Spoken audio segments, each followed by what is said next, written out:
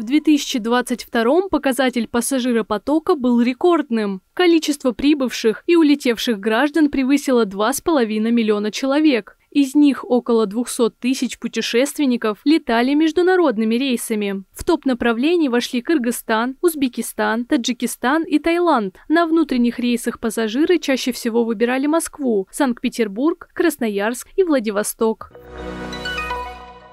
Министерство социального развития, опеки и попечительства Иркутской области смягчило правила получения микроавтобусов для многодетных семей. Теперь шанс получить их имеют примерные ячейки общества, которые воспитывают 7 и более детей в возрасте до 18 лет. Ранее выиграть бесплатную машину могли родители с 8 и более детьми. Сегодня министерство приглашает всех желающих поучаствовать в конкурсе. Помимо сбора документов, нужно будет пройти несколько этапов участия. Результаты многодетные семьи узнают после 1 апреля 2023 года. С 2013 года, э, с момента, когда начало наше министерство проводить этот конкурс, э, счастливыми обладателями ключей от э, нового автомобиля «Газель» стала уже 51 семья.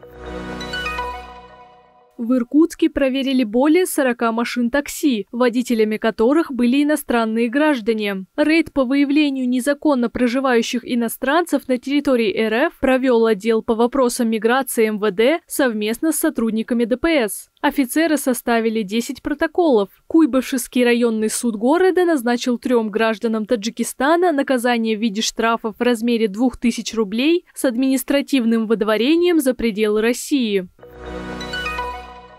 Для бойцов в военном госпитале Иркутска приобретут оборудование для занятий лечебной физкультурой. Об этом заявил глава региона Игорь Кобзев после очередного визита раненых участников специальной военной операции. Решается вопрос по посещению бассейна и проведения занятий по плаванию.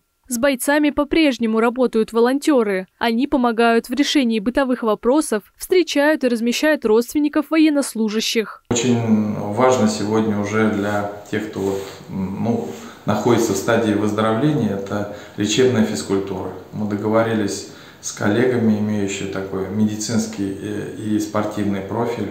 Будем проводить занятия по ЛФК три раза в неделю. Ну, в общем-то, и ребята это одобрили.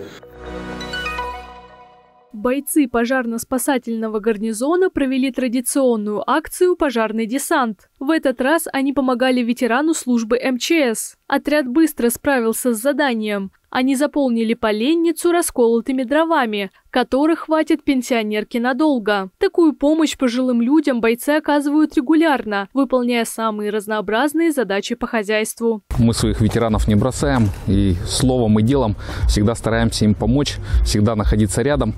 Ну и я думаю, что от этого мероприятия все получат пользу. И мы, и наш ветеран.